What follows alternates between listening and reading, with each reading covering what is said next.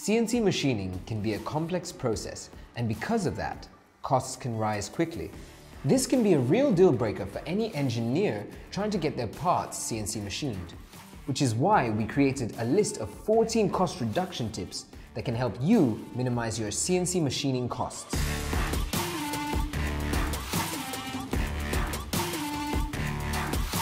Hi, my name is Nico, and welcome back to another episode in our series, What is CNC Machining? Today, we're going to cover the 14 cost reduction tips to help you, the engineer, keep your CNC machining costs to a minimum. In the description below, you'll find the link to our essential CNC cost reduction checklist, which includes even more information.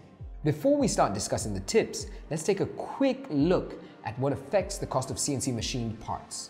The first Machining time and model complexity. The more complex the geometry of a part is, the longer it takes to machine and the more expensive it will be. Second, startup costs.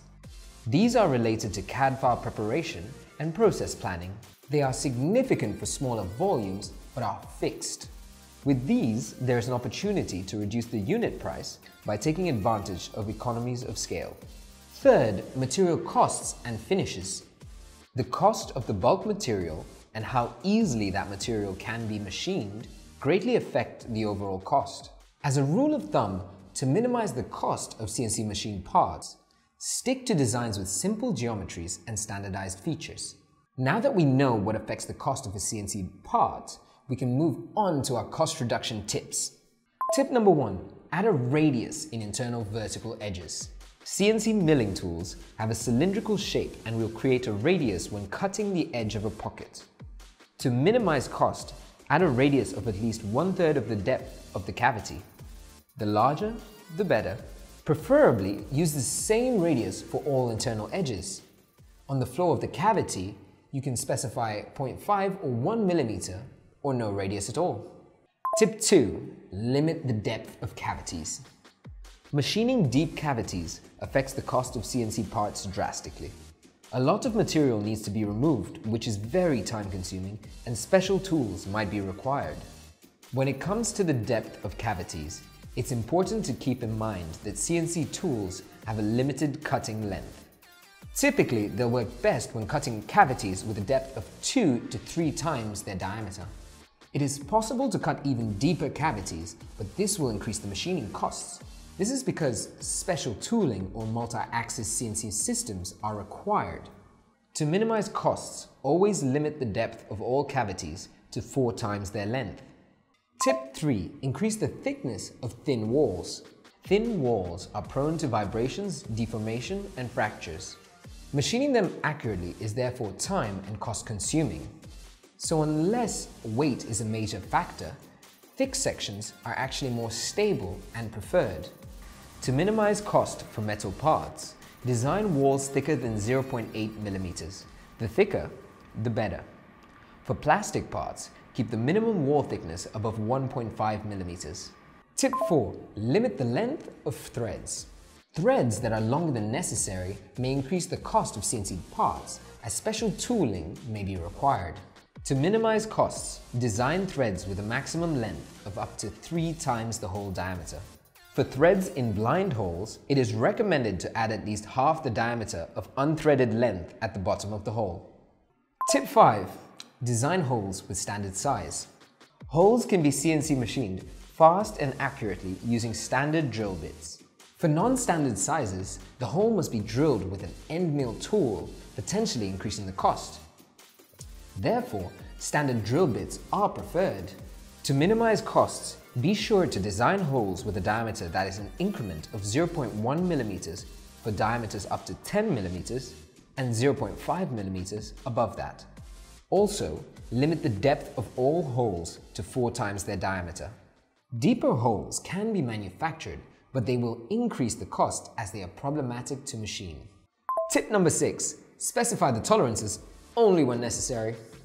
Defining tight tolerances raises the cost of CNC machining as it increases the machining time and requires manual inspection.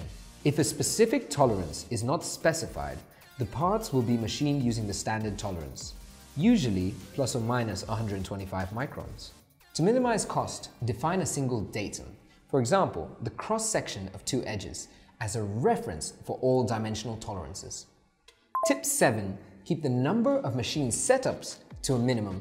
Design parts that can be machined in as few machine setups as possible, preferably in only one setup. Repositioning a part adds to the cost as it will usually need to be done manually. For complicated geometries, this is even more important to consider, as they may require a multi-axis CNC system, further increasing the price. Consider splitting the part into geometries that can be machined in one setup and then bolted or welded together. Tip 8. Avoid small features with high aspect ratios. Small features with high width to height aspect ratio are prone to vibrations and therefore difficult to machine accurately. To improve their stiffness, consider adding bracing features or connecting small features to a wall. Also, design features with a width to height aspect ratio of less than 4. Tip number 9. Remove all text and lettering. Adding text on the surface of a CNC machine part can increase the costs as additional and time-consuming machining steps are required. If text is necessary, choose engraved over embossed lettering. Surface finishing methods such as silk screening and painting are usually more cost-effective when lettering or adding text to a CNC machine part. Tip number 10. Consider the machinability of the material. If you have the option between two different materials, choose the one with better material machinability. Machinability refers to how easily a material can be cut. The higher the machinability, the faster a material can be CNC machined, which lowers the cost. The machinability of each material depends on its physical properties. Typically, the softer and more ductile a metal alloy is, the easier it is to machine. Brass C360 is the metal with the highest machinability. Aluminium alloys can be machined very easily. Steels have 10 times lower machinability than aluminium and will take at least 2 times longer to machine. Note that different steel grades have different levels of machinability. You can find out more information on the machinability index of the different steel grades down in our checklist included below. The machinability of plastics mainly depends on their stiffness and thermal properties. During CNC machining, plastics are prone to warping and melting during the process. POM, or Delrin, is the easiest plastic to machine, while ABS comes in close second. PEEK and nylon are other common engineering plastics that are a bit more difficult to machine. Tip number 11. Consider the cost of bulk material. To minimize cost, choose a material with low bulk costs, especially for lower volume. This table summarizes the price of metal alloys and plastic materials commonly used in CNC for a sheet with dimensions of 6 inches by 6 inches by 1 inch. Aluminium 6061 is clearly the most cost-effective way of creating metal prototypes as it combines low cost and very good machinability. Notice that the metals that offer greater machinability, like stainless steel 303 and brass C360, have a higher cost and for this reason are better suited for large volume production, as the material costs are overshadowed by the better machining times that allows for economies of scale. When it comes to plastics, ABS, nylon, and POM are priced approximately the same as aluminium 6061. They are more difficult to machine though, so do expect the price to be higher. PEEK is a very expensive material and should be used only when necessary. Tip number 12. Avoid multiple surface finishes. Only request multiple surface finishes when absolutely necessary. Surface finishes improve the appearance and resistance to harsh environments of CNC machined parts, but also increase their cost. Tip number 13, think blank size. To minimize costs, design parts with dimensions 3mm smaller than a standard blank size. The size of the blank or stock material may affect the overall cost. To ensure good accuracy, some material must be removed from all edges of the part. This can have a significant effect on material cost, especially for high volumes.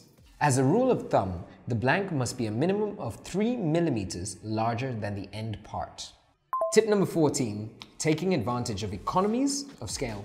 Take advantage of economies of scale by ordering larger quantities or placing repeat orders. In CNC machining, the quantity greatly affects the unit price. This is because the startup costs are relatively high, and when quantities are low, they represent a big percentage of the cost. But for large quantities, these startup costs are almost eliminated because the costs are divided over many parts. In this graph, we summarize the average unit price of 12 different parts machined in stainless steel 304. The drop in unit price is almost exponential. Even a small increase in quantity can decrease the unit price by a lot. Notice that ordering very high volumes, over 100 parts, reduces the unit price by 5 to 10 times. The effect of economies of scale are noticeable, also for low volumes. Those are CNC cost reduction tips. If you want to learn more about how to reduce cost for your CNC project, download our CNC cost reduction checklist below. I hope you enjoyed our episode and learned something new. Any questions? Drop them down in the comments below and we'll be sure to get back to you. Also, give this video a thumbs up if you liked it and subscribe below. I'll see you guys next time.